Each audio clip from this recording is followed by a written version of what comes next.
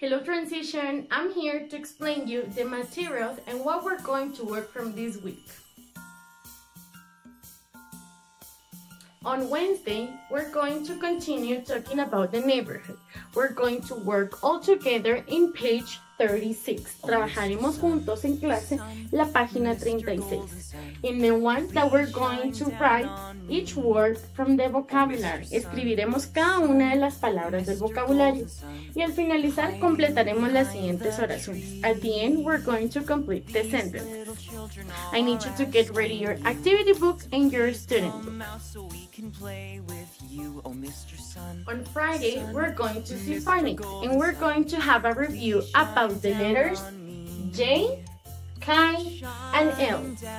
Para eso, vamos a realizar una manualidad. Vamos a hacer un kite. The material that I need you to get ready is a sheet of paper, una hoja en blanco, la cual quiero que doblen así para que quede en forma de un barrilete. A stick, una paleta de cualquier color, and craft paper, papel de china.